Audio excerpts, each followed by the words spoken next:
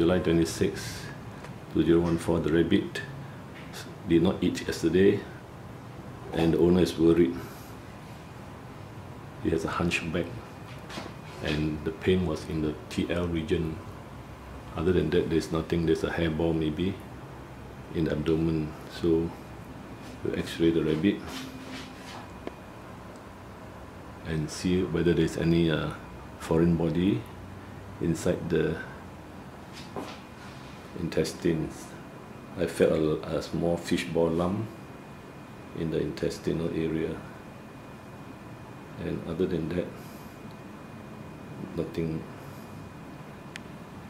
So two views daw, man. Yes, two views. yeah.